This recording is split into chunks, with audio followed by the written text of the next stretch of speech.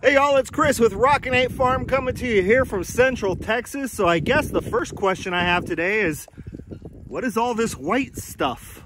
So snow in Central Texas is not unheard of. Um, we might even get it once a year, every year, or in an odd year, get it a couple of times, but snow here's not, you know, a normal thing. So obviously when we get snow here in Central Texas, just like all other Central Texans, it's time to go nuts. So let's film a YouTube video. Even the animals are trying to figure out exactly what's going on. You know, it's kind of funny because, um, you know, I mean, I don't exactly know the brain capacity of all animals, but like for at least one of our dogs, literally the first time in this animal's life that it has ever seen snow. For those guineas, first time in their life they have ever seen snow. They're not quite sure what to do with it. With the chickens, we've got a few of them outside, but by and large, I think the vast majority of them are in the coop. They're like, mm, this is a little weird for us. So I'm coming out right now because I've just got to do a few things. Um, I've got to throw a little feed out for the guineas. I'm going to give the chickens something to keep them occupied since they're cooped up. Love where sayings come from. Um, so uh, I'll, I'll, show you what I do to kind of entertain the chickens so that they don't start picking on each other. That's all there is to that. One little flake of hay, that's going to keep those chickens busy for hours as they start to just pick through it and have a good time with it. I got to check and make sure that uh, water isn't frozen. Um, generally speaking here, we make sure that, or try to make sure the water doesn't freeze at night during the winter, but it's not an issue during the day.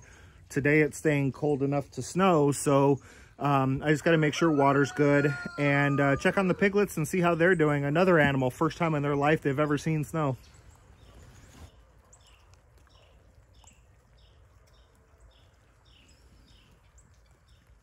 Water's still flowing good for the chickens. The hoses aren't freezing up or anything. It's actually, I just checked, it's actually above freezing because it doesn't have to be freezing to snow. So um, we're right about 35, 36 right now. Um, and since the water is flowing through the hoses, it's not getting slushy or anything.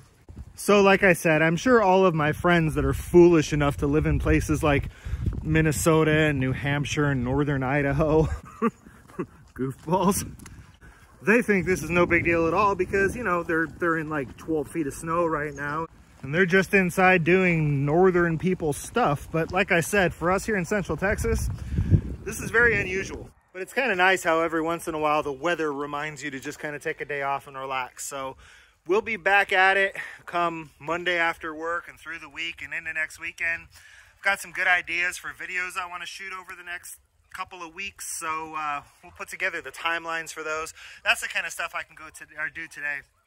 What today is for me personally, an awesome day is it is an awesome day to go through seed catalogs, chicken catalogs, all of that good stuff, and decide what it is that I'm going to uh, invest in in the garden and the flock for the next year. So our big thing today is just that we're really just enjoying the, the, the beauty of the snow on the farm. This is the first time we've seen snow on this farm, and it is absolutely gorgeous. I'm, I'm glad that it's kind of a one or two time occurrence because if I wanted to live somewhere where it snowed, I would live somewhere where it snowed. So I guess the big takeaway I want for everybody is the same thing that I ask you to take away every week when I film a video, and that is, until I see you again, be happy and live healthy.